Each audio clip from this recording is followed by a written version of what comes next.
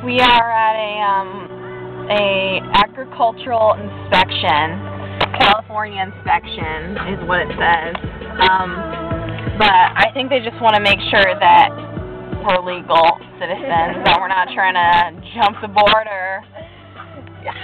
Good thing we don't have bananas or anything. Get us. Bananas or anything. oh my gosh. Here we go. Go check us out. I'm so scared. Oh no. No. No. No. Thanks. Good thing they didn't um find all those ille- illegal lizards that we smuggled from New Mexico. Or, you know, the drugs and stuff. Oranges. They have no idea how dirty we're truly riding. dirty. Just kidding, we're really not.